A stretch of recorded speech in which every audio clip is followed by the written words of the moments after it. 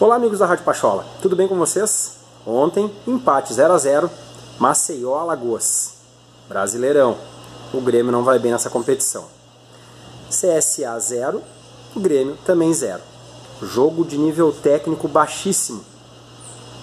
Passes errados, muitas faltas. O Grêmio foi mal. Dois pontos perdidos no Nordeste. E a arbitragem foi de Caio Max do Rio Grande do Norte, ele foi bem exigido. O jogo não foi fácil, mas a arbitragem deu conta, foi bem. Agora tudo é Libertadores. Assunção, Paraguai. A arbitragem vai ser de Vitor Carrijo, peruano muito experiente em jogos da Comebol.